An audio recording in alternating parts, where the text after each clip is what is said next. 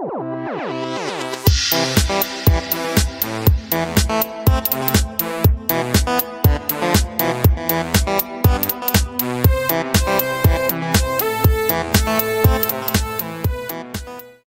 in this video we're going to be looking at how to write record to a file. So when I say record I mean having um, multiple bits of information on a single line all separated by commas. So effectively we're looking at how to create a comma separated uh, uh, value file or CSV. Okay so that's the plan. So we're going to be looking at how to create something known as a CSV file or comma separated values file. It is a really simple way of storing data. So each line can be thought of um, one collection of information. So in this case, we've got the initials of someone and their high score, maybe playing a computer game. I don't know. Um, so each line we call a record, okay? And um, essentially why we've got the initials and the score going together. So they uh, we want those stored together. So when we read it back, we know whose score goes with whom. That's the idea. Okay, so um, what this little program will do is output the initials and a score to a file. So what we want is both the initials and the score to be on the same line, um, separated by a comma. So the output should look something along the lines of this. So YTR, comma, 2000. So in order to do this, we need to first use a bit of simple string concatenation, i.e. joining strings together in order to get this working. So how do we do that? Well, the name is just available here. So I can just literally put that straight in. Then to get the comma, I just need to use string concatenation, put this little plus in and just put a comma in there. Okay, notice the comma is in quotation marks because I want it as a string. So that's going to give me this bit here.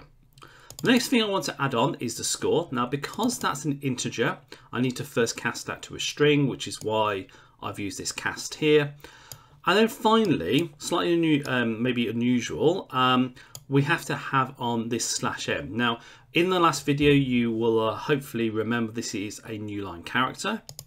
And what it does is it adds on a new line character. So the next thing we write to the file will be on a separate line, okay? That's actually really important because otherwise everything will just be a one big long line and we won't be able to read it back in. So once I've done that, I'm just going to print it out. Um, then I'm going to write it, open a file up, write that to a file and then close it. So I'm just going to delete this bit of text here and I'm going to run this code. So hopefully, fingers crossed, that's worked. So let's go to the file and then there you go. Okay, you can see that is in the file.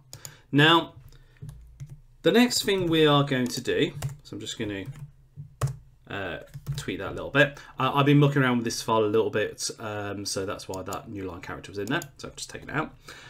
Now let's see what happens if I change the initials. So let's say I put AHA and put a new score in there and I run this code.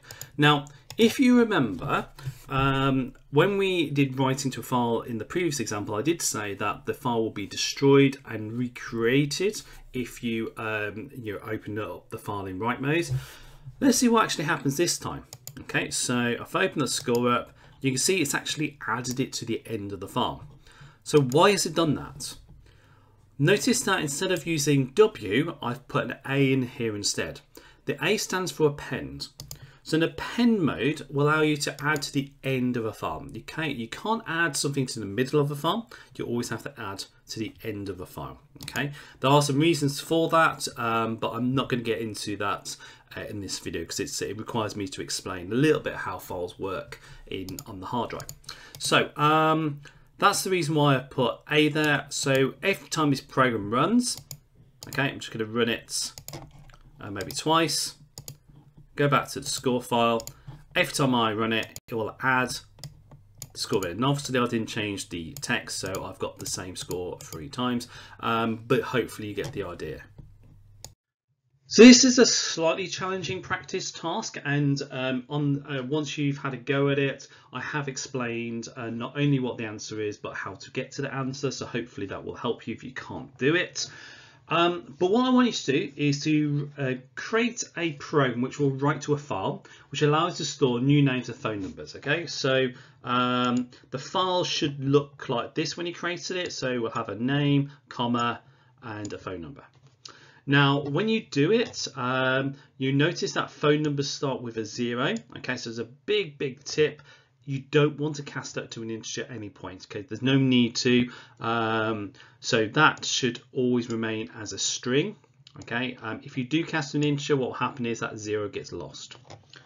Um, it should ask for um, new names and new phone numbers and it'll keep asking until you enter done and once it enters done uh, you stop the program so that is the practice task so pause the video now have a go and uh, check the answer in the next slide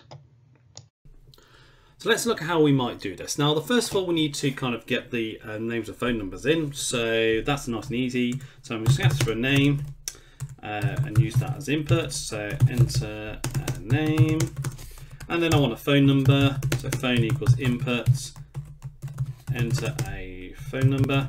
Now, slightly weirdly, um, I'm not casting that to an integer, and the reason why I'm not doing that, well, two reasons really. First of all, is that phone numbers can start with zero, and if you cast any number starting with zero uh, into an integer, it will just take the zero off, which isn't what we want. Um, and also, secondly, um, when I write to a file, I need it as a string anyway, so there's no point casting it to an integer, okay? You always got to have to think a little bit carefully when you do your casting.